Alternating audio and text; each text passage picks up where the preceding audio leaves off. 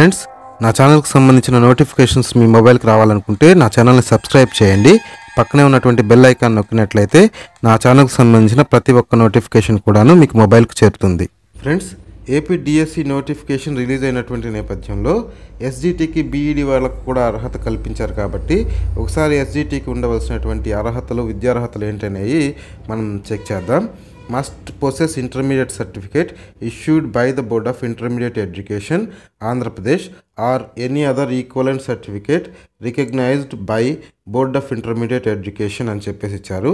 అంటే ఆంధ్రప్రదేశ్ ప్రభుత్వం గుర్తింపు పొందినటువంటి ఏ సంస్థలో నుంచి అయినా సరే ఇంటర్మీడియట్ లేదా తత్సమానమైనటువంటి అర్హత కలిగిన వాళ్ళందరూ కూడాను ఎస్జిటికి అప్లై చేసుకోవచ్చు. అలాగే గవర్నమెంట్ ఆఫ్ ఏపీకి సంబంధించి two years diploma in education diploma in elementary education అంటే డిఈడి అలాగే డిఈఎల్ఈడి చేసినటువంటి వాళ్ళు certificate issued by the director of government examinations Andhra Pradesh its equivalent certificate recognised by the NCTE so DEd డిఈఎల్ఈడికి సంబంధించి కావచ్చు. అలాగే దీనికి సంబంధించి తత్సమానమైనటువంటి అర్హత కలిగినటువంటి విద్యార్హత ఉన్నవాళ్ళు ఎన్సిటిఈ గుర్తింపు పొందినటువంటి విద్యా సంస్థల్లో ఉంచి తీసుకున్నటువంటి సర్టిఫికేట్స్ వాళ్ళు ఎస్జిటికి అర్హులు. దాంతోపాటుగా must possess a graduation with at least fifty percent marks and bachelor of education so యాభై శాతం మార్కులతో డిగ్రీ పాస్ అయిన వాళ్ళు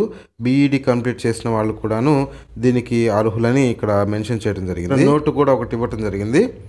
Who have acquired the qualification of bachelors of education from any NCTE recognised institute shall be considered for appointment as a secondary grade teacher provided that the person so appointed as secondary grade teacher shall mandatorily undergo a six months bridge course in elementary education recognized by the NCTE within two years of such appointment as secondary grade teacher. So NCTE ఉత్తర్వుల ప్రకారం ఎవరైతే BEd వాళ్ళు ఇప్పుడు ఎస్జిటికి అర్హత సాధించారో వాళ్ళందరూ కూడా రెండు సంవత్సరాలలోపు ఎలిమెంటరీ ఎడ్యుకేషన్కి సంబంధించినటువంటి six months bridge course complete చేయాలి అని చెప్పేసి ఇక్కడ మెన్షన్ చేయడం కూడా జరిగింది. సో ఇంటర్మీడియట్ విద్యా అర్హతతో డిఈడి చేసిన వాళ్ళు అలాగే డిఈఎల్ఈడి చేసిన వారు అలాగే యాభై శాతం మార్కులతో డిగ్రీ పాస్ అయ్యి బీఈడి కంప్లీట్ చేసినటువంటి వాళ్ళందరూ కూడాను ఎస్జిటికి అర్హులని చెప్పుకోవచ్చు.